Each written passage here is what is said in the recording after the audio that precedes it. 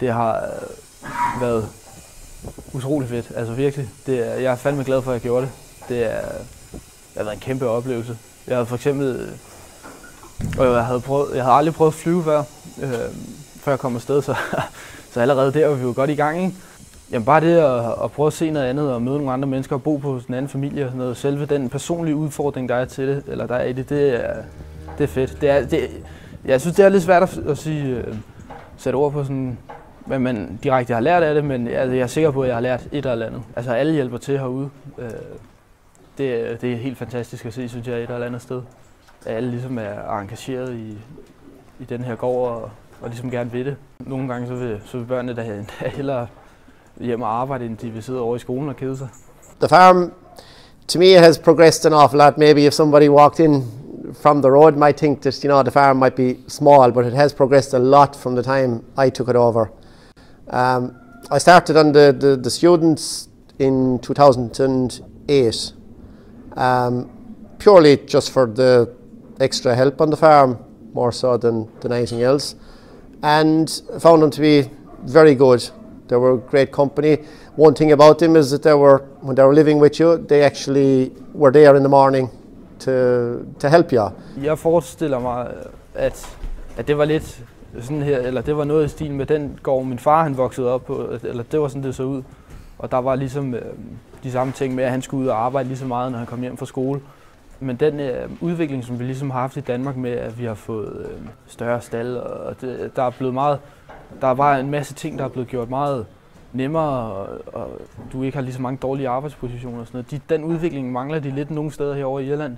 Oh, Nicholas was a lovely fella. Um, strangely enough, even the very before I ever met him, I knew that Nicholas was actually going to be a success like other previous students.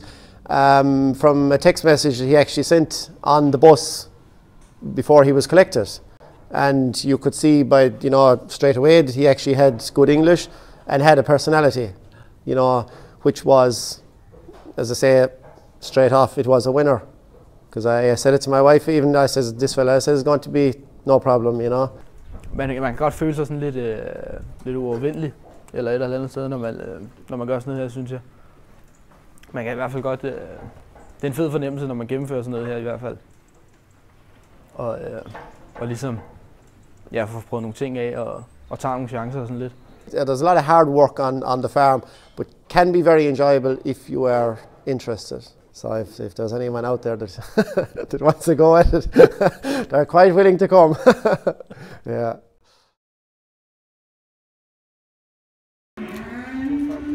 Jamen, det levede helt klart op til forventningerne, det må man sige. Øhm, jeg synes, øh, hvis man får sådan en mulighed som den her, den ligger lige foran en, så er det bare at tage afsted, og det synes jeg bare, man skal tage imod, fordi det, det har virkelig øh, lært mig rigtig meget, og øh, det er jeg sikker på kan lære rigtig mange andre det samme, hvis man bare tager imod det tilbud, der kommer.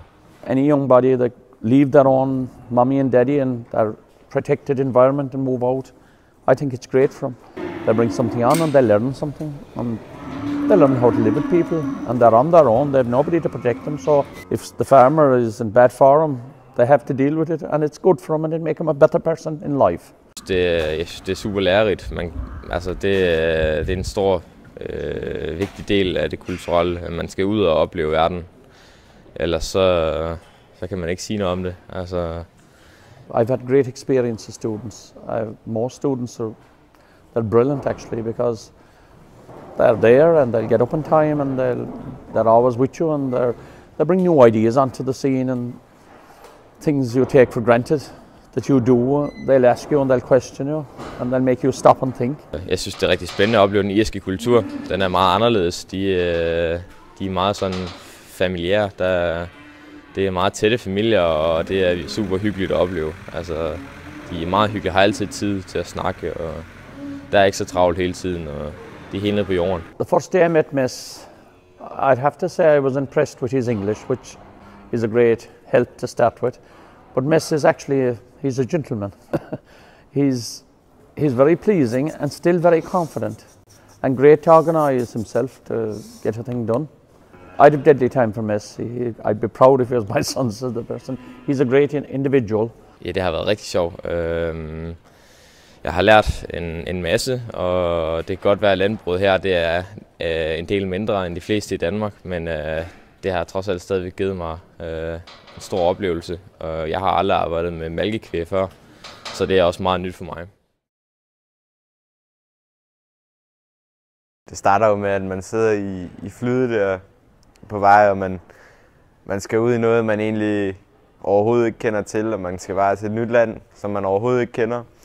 Og så når man kommer i lufthavnen, så, så som den første bliver man kaldt til side og siger, nu du skal på en bus om 5 minutter. Og øh, så du skal skynde dig lidt at følge med nu. Og så bliver man sat på en bus, hvor man kører ud til et stoppested, hvor man så skal tage en anden bus videre. Og man, man aner ikke, hvor man er henne, men man har bare en, en seddel, hvor der står, hvilken bus du skal med. Solen går ned, og det bliver mørkt, og du aner ikke, hvor du er henne. Og så kommer der så en mand og samler dig op på det der busstopsted, du, du havner på. Det er sådan lidt en vild følelse, når man, når man ikke ved, hvor man skal hen eller noget som helst. Men så kommer man hjem, og man bliver taget med ind i familien, og man får lidt at spise, og så går man i seng. Yeah, Martin is a good student. He's uh, had a lot of practice on his own farm with um, uh, agricultural machinery, driving tractors and things. So, um, yeah, he fitted in fine. We use the diet feeder for feeding the cows at the moment, and um, he was able to get practice in that. But he also learned now how to milk cows. Så synes jeg, det er fedt, at man får muligheden, og det, det er fedt, at man får lov til at tage afsted, og man kommer hjem igen i god behold. Det der, har det været en god oplevelse? Ja, det synes jeg. Overordnet har det. Men jeg glæder også mig også til at komme hjem igen nu. And this won't be the last Danish student. No, uh, I got on well with, with Martin, and we had uh, we had a different Emil uh, from another college in, in Denmark beforehand, and uh, we got on well as well. So, the I think the Danish culture is, is like Ireland, uh, and uh, we got on well. Yeah, yeah. Jeg kom hen af eftermiddagen og øh, blev sådan set sat til at mælke med det samme. Jeg havde lige smidt kufferten af. Øh, og der var en masse nye maskiner, der skulle læres at kendes, øh, fordi at jeg kom fra et andet gård tidligere i Irland. Øh, og det var noget andet at komme til her. Øh, meget mere moderne og, og renligt. Så det var, det var noget andet. Øh, meget lærerigt.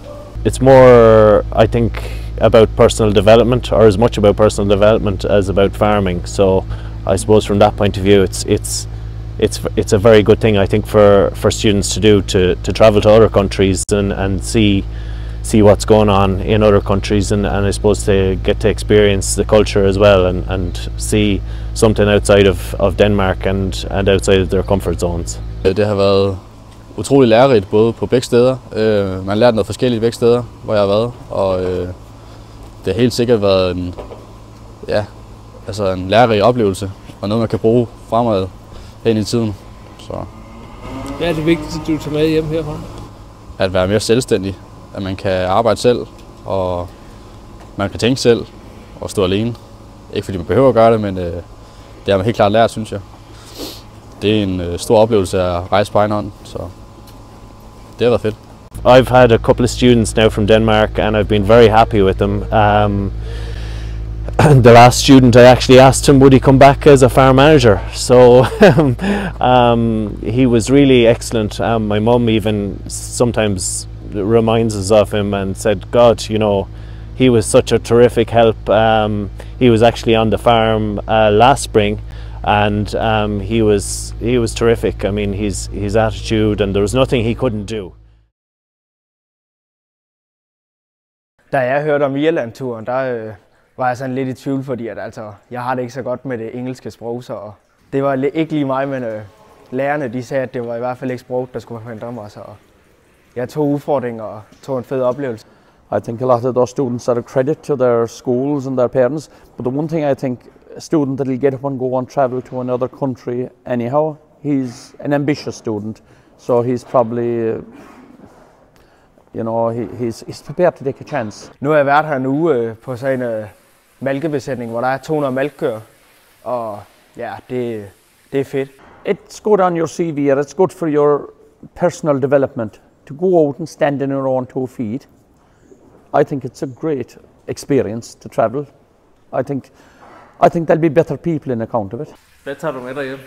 Jeg tager en hel masse erfaringer med malkekvæg, og jeg har aldrig malket før, så jeg er sådan på udbanen, men øh, jeg føler mig sådan rigtig godt med.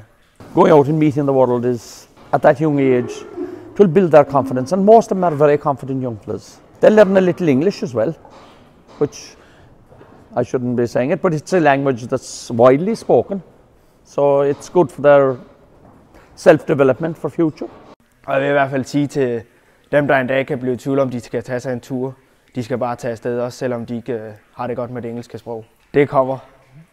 Det, man, be- man kommer til at, altså sprog, det bliver bedre og bedre, og forstår dem også bedre og bedre efterhånden.